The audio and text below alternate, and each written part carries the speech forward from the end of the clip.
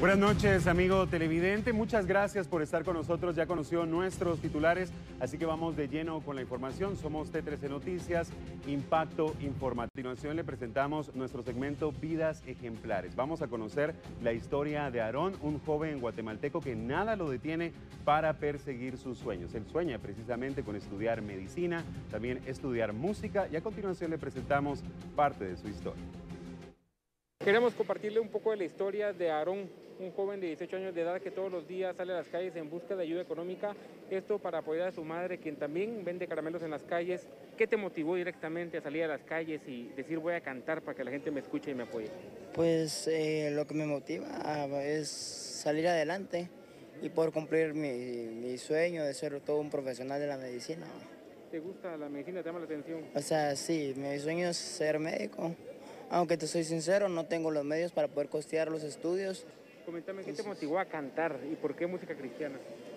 Pues eh, a cantar fue más que todo por un, un señor que me escuchó tocar flauta. Yo como te comentaba, tocaba flauta dulce soprano, se le conoce.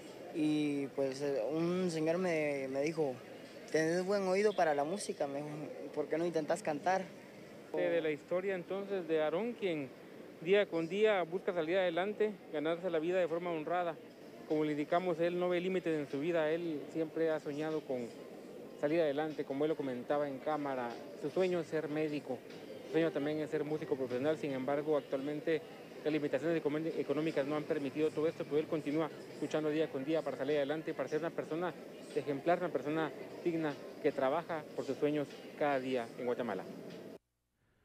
Sabemos del buen corazón de nuestros televidentes. El número telefónico continúa en pantalla. Con gusto lo vamos a repetir. 4136 7133. Por cualquier ayuda que usted pueda canalizar para los sueños de Aarón, ese es el número al que se debe comunicar. Una vez más, 41 36 71 33. Y de antemano, amigo televidente, muchas gracias por su apoyo. Vamos a ir a una nueva pausa. Cuando regresemos, vamos a actualizar las cifras de la pandemia en suelo guatemalteco. Así es, vamos a hablar de tiempos de coronavirus, la situación bastante alarmante en nuestro país. Le vamos a presentar la situación actualizada en minutos nada más. No cambie, enseguida volvemos.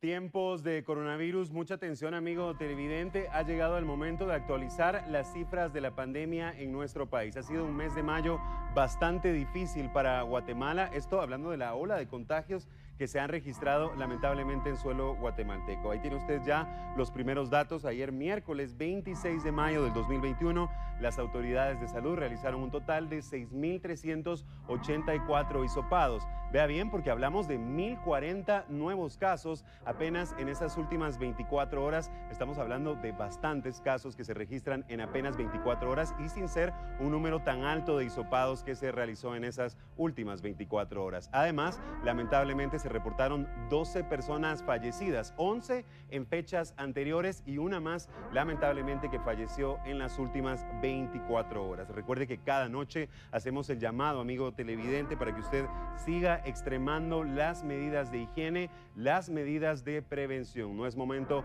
para relajarnos en este sentido. Recuerde utilizar la mascarilla, ha sido una de las disposiciones prácticamente más efectivas a la hora de mermar este tipo de contagios. También utilizar gel a base de alcohol es muy importante. Lavarse las manos constantemente también lo es. Y por supuesto continuar con el distanciamiento físico. En la medida de lo posible es muy importante continuar con este distanciamiento. Tiene usted ya en pantalla la situación general del virus en nuestro país que muestra una vez más la situación complicada que se vive desde que inició la pandemia. Desde el primer caso que se registró en Guatemala el pasado 13 de marzo del 2020 se han contagiado 251.336 personas en nuestro país. Además, según los datos del Ministerio de Salud Pública y Asistencia social se han recuperado 230.882 personas. Tal y como se lo habíamos adelantado desde nuestros titulares, una situación preocupante es la cantidad de víctimas mortales que se han registrado. Ya hablamos de 8.070 personas fallecidas a causa del coronavirus que han perdido la batalla a causa del COVID-19. 8.070 personas. Esto no es un juego, amigo televidente, y además continúan siendo portadoras del virus 12.384 personas. Esta es la última actualización por parte del Ministerio de Salud. Ya le indicamos las disposiciones que tienen que seguir y recuerde seguir utilizando la mascarilla en todo momento. Tal y como actualizamos también las cifras de la pandemia, es importante también actualizar el proceso de vacunación en nuestro país. Recuerde, es lento, pero continúa avanzando. De hecho, autoridades del Ministerio de Salud han indicado ya que personas que recibieron su primera dosis durante la semana mayor, durante Semana Santa, están listas ya para recibir su segunda dosis y con esto culminar el proceso. La información proporcionada por el Ministerio de Salud Pública señala que toda aquella persona que haya recibido la primera dosis de la vacuna durante la Semana Santa entre el 31 de marzo y el 4 de abril tendrá que presentarse nuevamente a los centros de vacunación para aplicarse la segunda dosis. Las autoridades hacen énfasis en el personal que integra la primera línea, entre ellos trabajadores de hospitales y clínicas, así como cuerpos de socorro, que fue justamente el grupo que recibió la primera dosis en esa semana. En el centro de vacunación habilitado en el Polideportivo de Gerona, en la zona 1, iniciará la aplicación de la segunda dosis a partir del 8 de junio y concluirá el 11 del mismo mes. Un día antes, el 7 de junio, arrancará esta fase de vacunación en el Parque Eric Barrondo en la zona 7 y finalizará el día 11. En las mismas fechas se aplicará la segunda dosis de la vacuna en el Centro de Educación Especial Alida España, ubicado en la 14 calle de la zona 3. En este caso, deberán presentarse las personas que recibieron la primera inyección en los campos del Roosevelt en la zona 11. Las autoridades salubristas informaron que el horario de vacunación será de 8 de la mañana hasta las 14 horas. Continuamos hablando de los avances del proceso de vacunación en nuestro país y mucha atención porque para la próxima semana ya también los adultos mayores de 50 años de edad podrán inscribirse para recibir la vacuna en contra del COVID-19. Según lo anunció el presidente del país, Alejandro Yamatei, será a partir de la próxima semana, como le indicamos, que quienes oscilen entre los 50 y 59 años podrán optar a ser vacunados dentro de las fases establecidas por el Ministerio de Salud. El mandatario también enfatizó en la poca afluencia de personas inscritas mayores de los 60 años, por lo que hace el llamado para acudir al centro más cercano o designado para el proceso de inoculación. Vamos a hablar ahora de las condiciones del clima en nuestro país. Varias regiones han sido golpeadas por las fuertes lluvias registradas en las últimas horas. Nos vamos a ubicar en Livingston, jurisdicción de Izabal, donde varias personas han tenido que ser evacuadas. Se registran daños también en algunas viviendas. Vamos ahora con el detalle completo.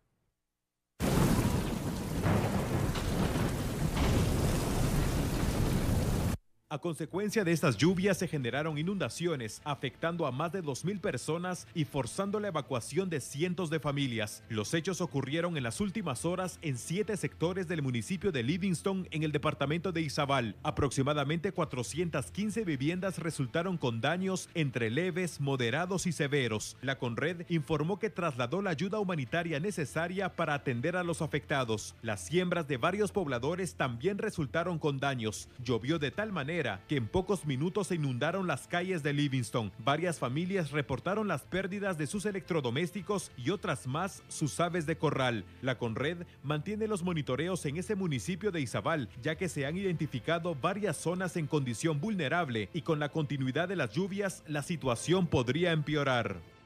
Complicada la situación en este sector del país y atención porque vamos a ir ahora con el pronóstico de los expertos del clima para las próximas horas. Mucha atención. Para el fin de semana, los expertos eh, del clima refieren a un ambiente cálido y soleado, pero con posibilidad de lluvias acompañadas de actividad eléctrica, sobre todo en regiones de la gran parte de nuestro país. Para el Valle de la Ciudad Capital, Meseta Central y Occidental se prevé nubosidad dispersa durante la mañana, nublados parciales con lluvias acompañadas de actividad eléctrica durante la tarde o primeras horas de la noche, sobre todo en el área del occidente del país.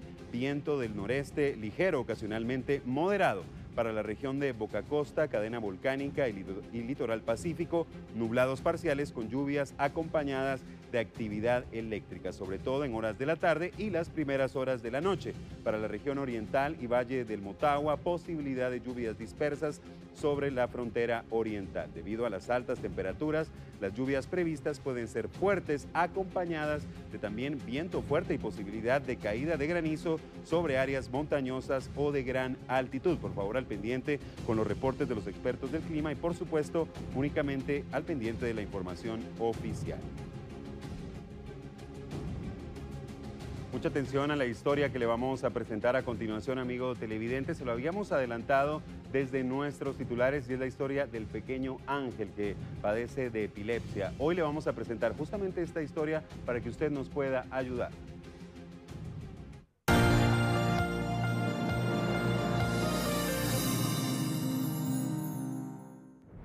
Nos encontramos acompañados de Linda Juárez, una abuelita que se encuentra preocupado ya que su nieto de 7 años se encuentra enfermo, necesita medicamento y no cuenta ya con recurso económico para poderlo pues, eh, atender en este caso, para que tenga calidad de vida ante la enfermedad que él tiene. Doña cuéntenos, Ángel se llama su nieto, ¿verdad? Así es. ¿Qué enfermedad tiene él? Él, él convulsiona. Eh, si no se le da el medicamento, eh, no duerme y convulsiona demasiado.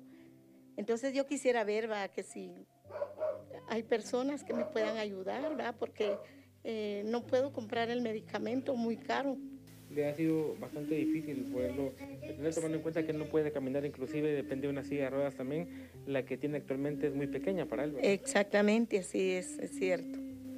En este caso, el llamado a las personas que lo están viendo para que pudieran colaborar en este caso con medicina, pañales, víveres. Sí. ¿Cómo lo podrían hacer? ¿A qué número se podrían comunicar? Es eh, al 42 02 43 73.